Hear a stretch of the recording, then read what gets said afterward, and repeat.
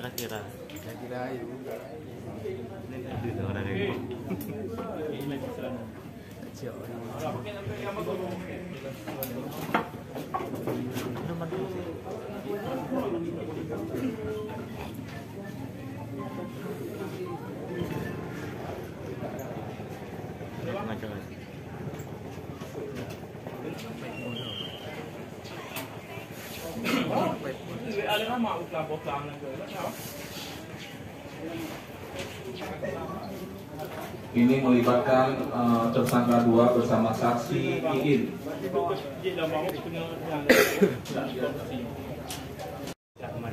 Waktu subuh tu. dia dia dia di sini tidur. Tidur dia. Jam Kau 5 tidur, pagi. kau cakap dia di sini. Ni mamaknya pula ada yang turun turun ni. Ah, mamaknya. Pek, sini pek kita pek.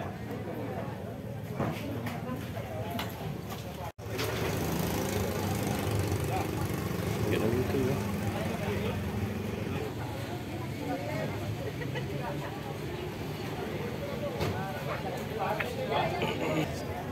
Adegan ke-16 sekira pukul 05 WIB tersangka 2 bersama dengan saksi 2 Iin Ma 00 WIB. Pagi tersangka 2 bersama dengan saksi 2 Iin sampai di gudang pembuatan korong-korong di Sumur di Jalan Sinamata 2 Gampung Padang Kecamatan Johan Palawan tersangka dalam kondisi korban tidak sadarkan diri Kemudian tersangka dua turun dari sepeda motor menuju ke kamar tersangka. Kamar tersangka satu. Tidur. Mana ada kata-katanya panggil? Bang, bang atau mana? Mas, mas. Ha? Tersangka dua membangunkan, berusaha membangunkan. Tunggu, tunggu, tunggu. Waktu mau buka betul tak? Ya. Kenapa? Tak tunjuk, tunjuk. Lama. Cepat. Sini kita. Buka pintu. Mau buka pintu. Tunjuk di sebelah sana. Berdiri atas tu je. Tersangka dua dan tersangka satu. Bang, bang, buka bang. pintu. Tunggu bang, bang, bang angkat ke sensitif biasa waktu bang nampak dia ni. Ha. Kasih kakak ni je bang. Tunggu ya. Tersangka dua masih berusaha untuk membangunkan tersangka satu. Dah. Buka pintu. Buka pintu dari Ah, dalam. dah, tunggu dulu, tunggu dulu. BAP buka. Semua, semua. Ha, tunggu dulu kau ini Buka ya. lagi. Buka lagi. Biar nampak orangnya. Itunya apa? Kalung dia tu nampakin tersangka. Terus, ha, okey, tunggu dulu. Le- Lebar sikit lagi. Ya. Tunggu ya. Tunggu ya, ulangi ya, bentar.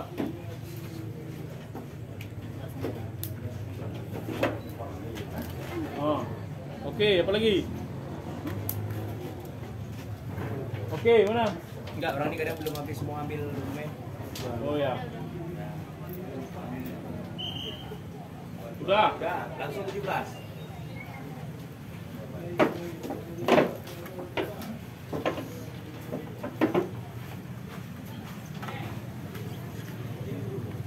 Adegan 17 Sekira pukul 05.10 WIB Tersangka satu membukakan pintu dan mengambil korban Dari tersangka dua Dah, enggak, perlu ambil. Di mana dia ambilnya? Di pintu satu Ha, okey, tunggu dulu. Tersangka dua Di dalam apa di, di pintu? Di pintu memang. Ya, Tersangka satu mengambil korban dari tersangka dua.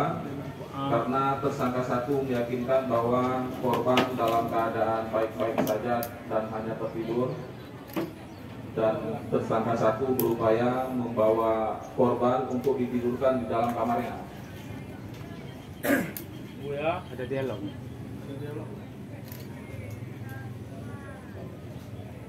Ada dialognya ni, Bang?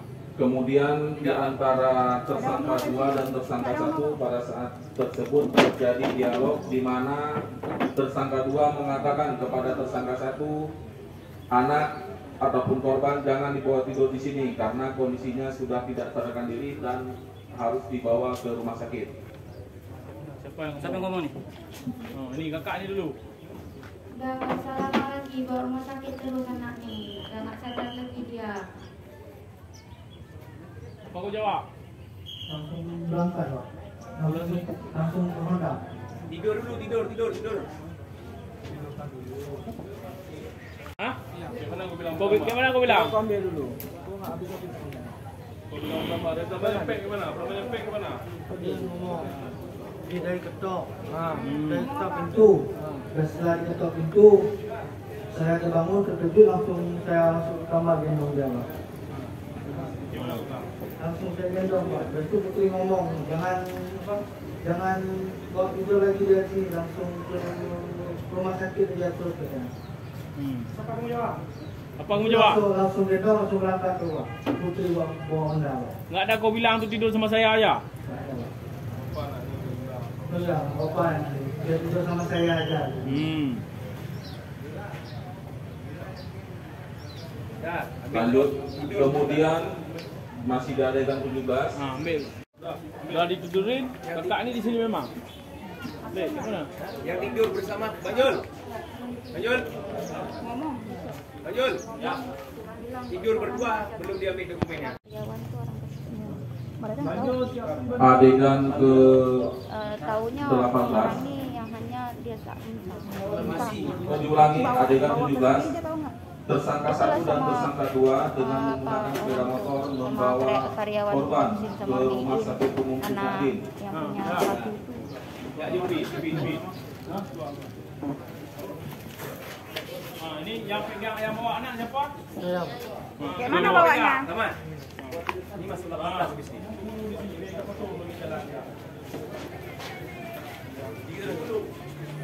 siapa di depan? Yang jelas. Beri, depan beri. Ha. Keluar, keluar, keluar.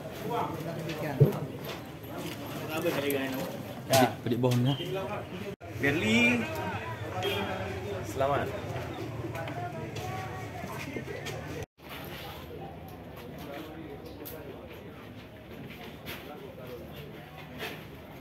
Korban dengan menggunakan sepeda motor ke rumah sakit umum Punyadin guna memastikan kondisi korban. Okey. Adegan cukup.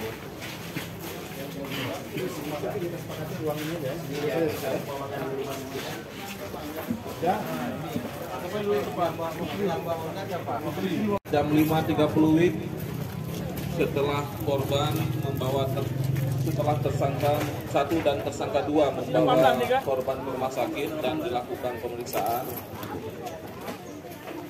Tersangka satu kembali ke lokasi kerjanya untuk menjemput saksi satu. Pada saat tersangka satu sedang menjemput saksi satu dari lokasi tempat kerja tersangka satu, tersangka dua mendampingi korban di rumah sakit dan dari keterangan dokter dinyatakan bahwa korban telah meninggal dunia. Sesaat kemudian tersangka satu tiba di rumah sakit dan tersangka dua mengatakan kepada tersangka satu bahwa anaknya sudah meninggal dunia dan tersangka satu kemudian mengatakan Put maafin abang abang kilap sudah pukul dia. Tolong jangan bilang sama mama dan keluarga aku. Bilang saja dia jatuh dari tanggul laut Gunung Barat Okey. Kemudian tersangka satu dan tersangka dua sambil berpelukan mengatakan agar jasad korban dibawa saja ke rumah tersangka satu di Kampung Tengah, Kecamatan Samatiga, Kabupaten Aceh Barat untuk dikebumikan. Okey, ini udah kita. Oh, enggak ada ke sana. Hah? Korban ke dalam ruang UGD. Tunggu dulu, kita foto di sini dulu biar nampak itu rumah sakit. Okey,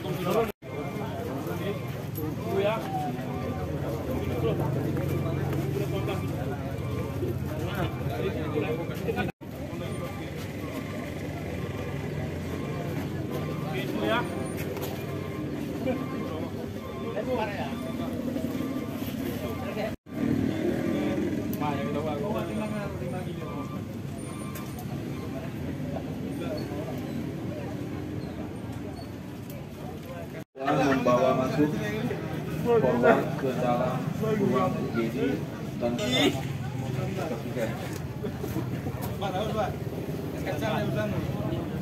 meninggal dunia berdasarkan pemberitahuan ataupun anak yang telah meninggal dunia terlebih dahulu adalah kepada ibunya.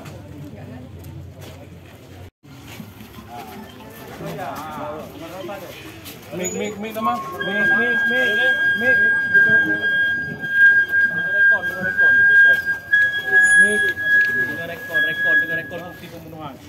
Nomor berapa ada? Putri ngomong apa? Kamu apain anak tuh?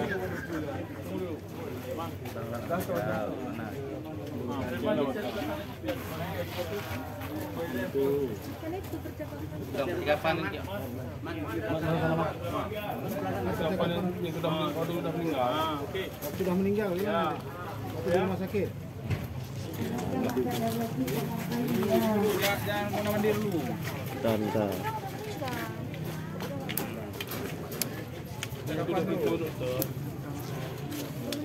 Anak udah nggak ada lagi dinyatakan meninggal. Bang sikit dulu. Foto dulu nanti baru abang. Kamu apain dia?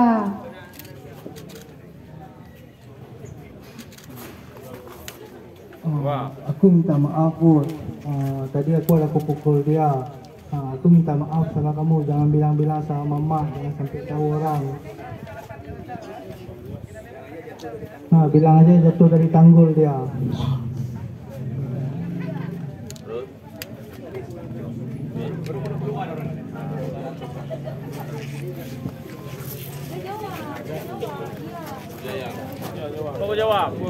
Iya iya nantilah tuh lihat anak dulu. Iya yang Yang yang yang yang sebenarnya kayak mana?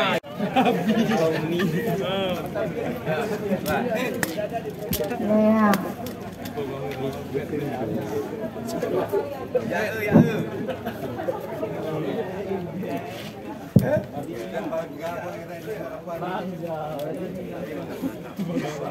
Kemudian di akhir adegan ke-18 tersangka satu dan tersangka dua berpelukan sambil mengatakan agar jasad korban dibawa saja ke rumah tersangka satu di Kampung Tengok, Kecamatan Samatiga, Kabupaten Aceh.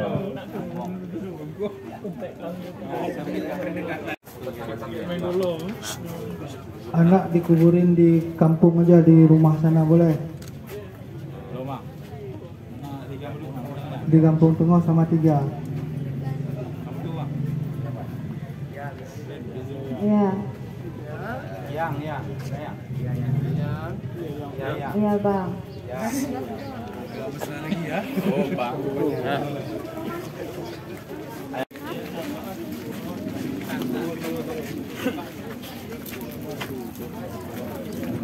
Depan dong.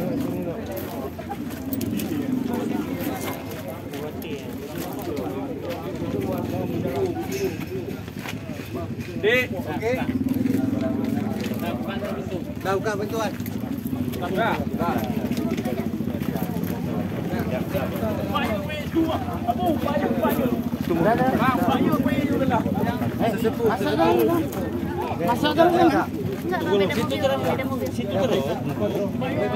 ada ada misal perasaan Gabung aja. gimana pak ada rasa perasaan depan, depan. Bangga depan ya, Bang.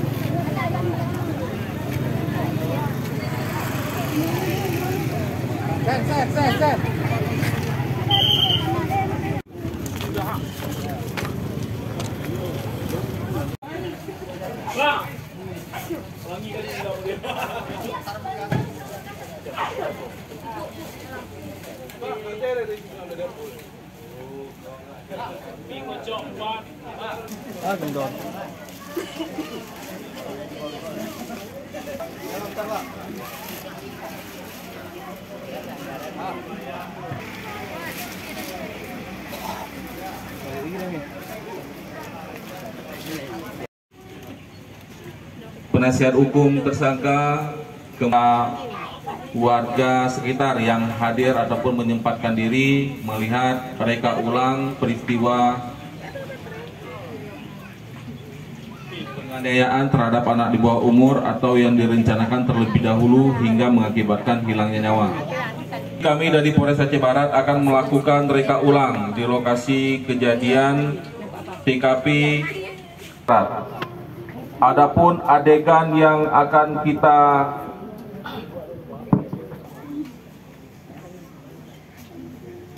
dalam pelaksanaan TKP 2 sekira pukul 14.15 WIB tersangka satu bersama korban. Sampai ke warung mie Kocok Epi di Kampung Suak Indrapuri Kecamatan Johan Palawan Kabupaten Aceh Barat. Dengan mengendarai sepeda motor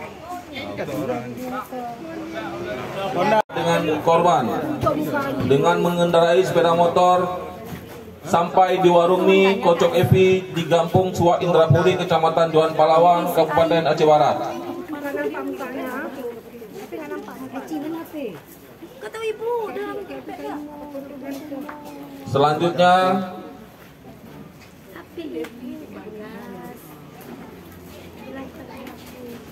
Dalam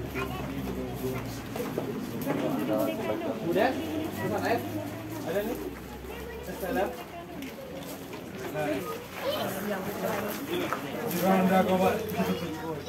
tersangka satu bersama dengan korban langsung menuju samping kafe. Berjumpa dengan tersangka dua. Tersangka dua atau bisa diwakili. Ini sebelumnya tersangka dua memang di sini bekerja.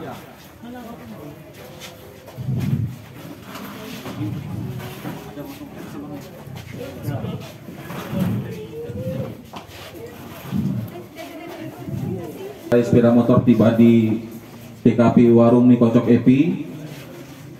Korban bersama tersangka satu langsung menuju samping bangunan dari kafe tersebut dan duduk bersama dengan tersangka dua dan juga pada saat tersangka satu dan tersangka dua bertemu mereka saling berbincang namun tidak begitu lama dan ataupun korban sedang memainkan HP-nya sambil tiduran. Kan agak jauh daripada tersangka satu dan tersangka dua sedang bermain Oh. Nah, pegang pegang dulu. Terusan korbannya turunin sedikit dulu. Nah, 14-15 WIB sampai dengan 1940 WIB ini terdapat waktu jeda yang mereka memanfaatkan oleh tersangka satu, tersangka dua, serta korban untuk berjalan-jalan seputaran kota Melabuh.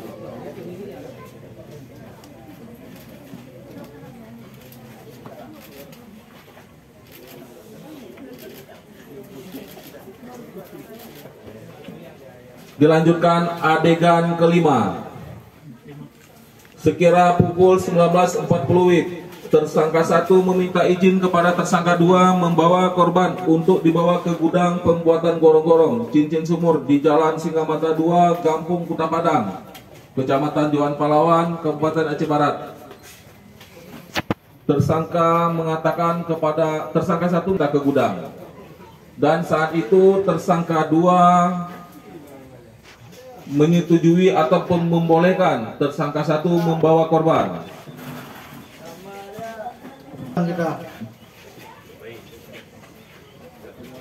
Pada saat tersebut tersangka satu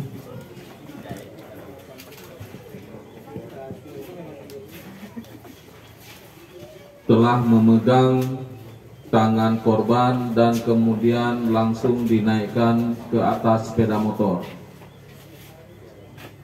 Sementara tersangka dua tidak mengatakan apa-apa ataupun membolehkan tersangka satu membawa korban. Eh, jak, jak. Mana kau pegang? Mana ni? Buat. Ini? Lepas, lepas. Begini ke mana? Korban berada di atas sepeda motor.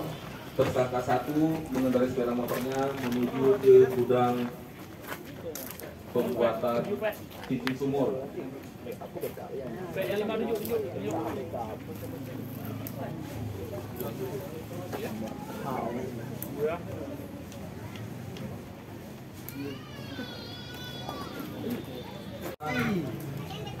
Kampung Desa Suwa Indrapuri, Kecamatan Jawa Palawan, Kabupaten Aceh Barat dengan menggunakan sepeda motor. Dan kemudian tersangka satu menyerahkan korban kepada tersangka dua.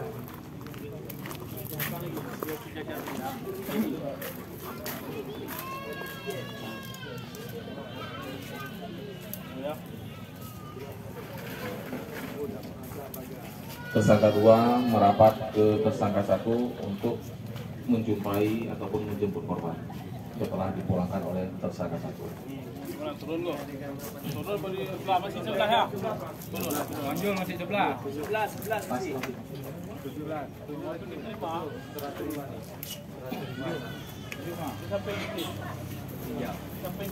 Selanjutnya adegan 12 Tunggu dulu, tunggu bang. Tunggu dulu.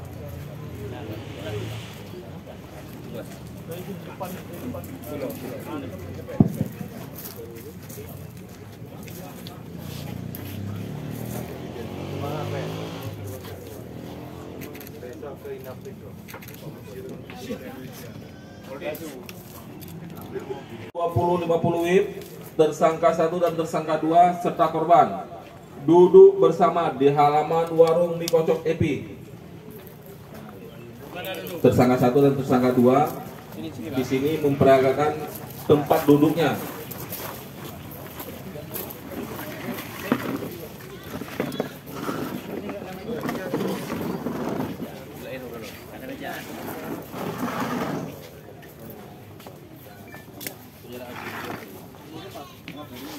Lagi lepas, lagi lepas.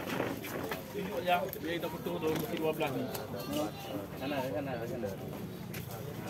Okey. Dah.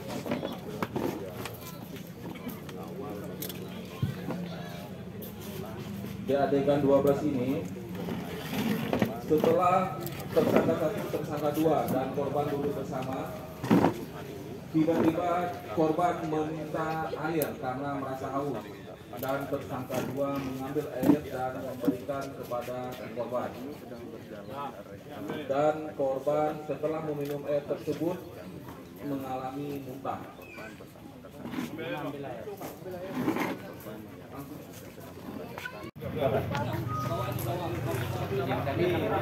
Ya 13 13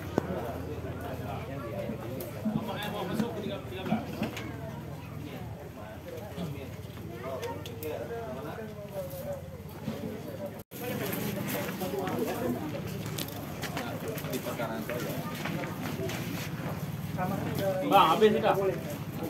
Dah habis. Enggak apa-apa.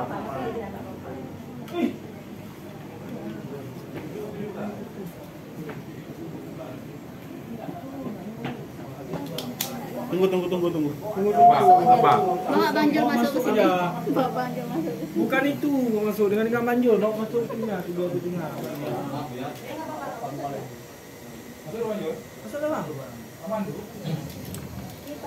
9 14 Hah? 14? Ma, di sini setelah jadikan 13 ini adalah pada saat tersangka dua membawa masuk korban ke dalam kamar dan diketahui pada saat itu korban sedang mengalami demam serta tersangka dua memberikannya bodrexin tablet serta menyuruh korban untuk tidur. Kemudian Kasih mata mak, 13 dah.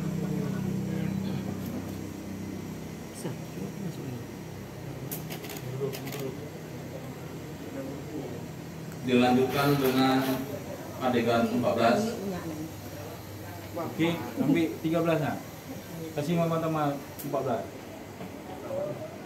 Tu gabung semua ni jangan hilang nombor lagi. 14 apa bang? adegan 14 sekira pukul 02.10 WIB pada hari Jumat tanggal 09 Februari 2024 tersangka 2 menghubungi tersangka 1 via WhatsApp Mana? HP-nya? serta mengirim gambar video kondisi korban Adapun bahagian yang difoto atau di video adalah dagu korban yang terdapat bekas biru, lubang biru. Okey. Di sini tersangka dua menanyakan kepada tersangka satu. Tersangka dua bersama saksi Iin membawa korban dalam kondisi tidak sadarkan diri.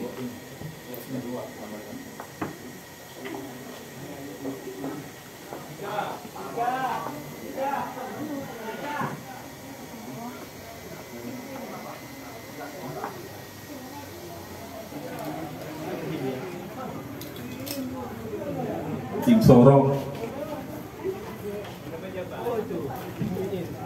15 di mana ni? Adegannya. ataupun tim-tim sumur di Jalan Singamata 2 Gampung Kota Padang Kecamatan Johan Palawan untuk menjumpai tersangka satu.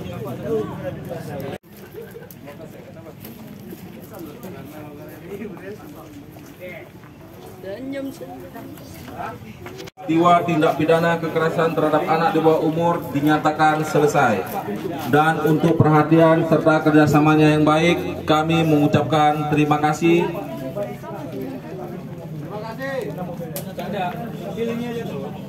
Kami akhiri, wabillahi taufiq hidayah, wassalamualaikum warahmatullahi wabarakatuh.